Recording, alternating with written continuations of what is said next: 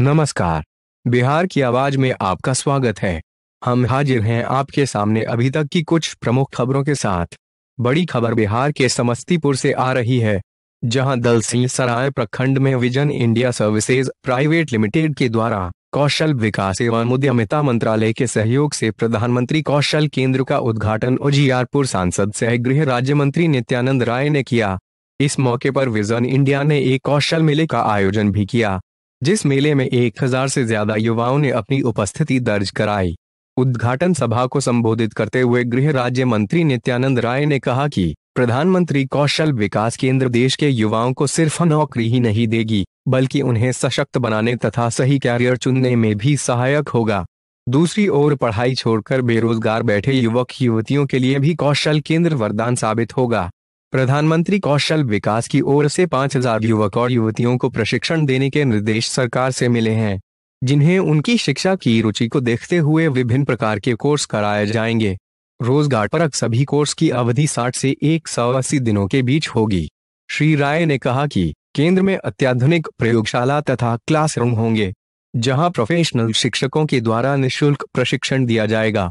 इस अवसर पर vision India services private limited के CEO Vivek Kumar, director Himanshu Kaushik, Sanjay Singh, Pankaj Kumar, centre manager Naveen Kumar, project manager Alok Ranjan, Rishi Raj, Seema Kumari, Rupesh Kumar सहित सैकड़ों लोग उपस्थित थे।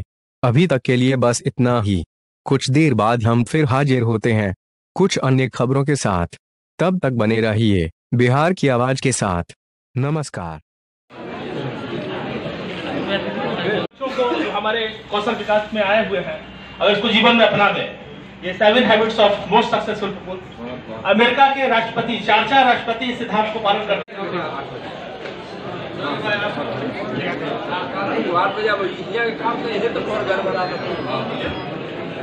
प्रधानमंत्री कौशल केंद्र उजियारपुर के उद्घाटन समारोह में अपना समय निकालकर सम्मिलित हुए।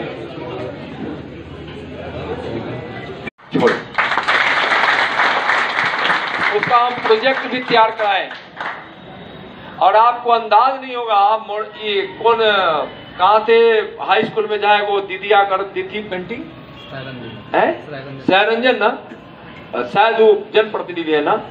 उस पेंटिंग में दुर्गा की इतनी अच्छी पेंटिंग है कि हमारे यहाँ कुछ गेस्ट आए वहाँ सूची हमारे कार्यालय को दीजिए, ज़रूर दीजिए। हम यहाँ की सरकारी व्यवस्थाओं में भी मिथिला पेंटिंग को अवसर मिले और उसको, उसका नए नए इंडस्ट्री लगे, परिधान के रूप में या और किसी रूप में हम उसकी पूरी यहाँ व्यवस्था करेंगे, पूरी व्यवस्था करेंगे। आप बेटियाँ तो ज़्यादा होती है, मिथिला पेंटिंग बेटियाँ तो उसे तो हम सर्किट हाउस में देखे कि जितने पेंटिंग मिथिला की कर रही थी, सब बेटियाँ ही थी। क्षेत्र में ढूंढना चाहिए। यानी सभी क्षेत्र में और सब बड़े भाई के साले थे। अच्युतानंद नाम था।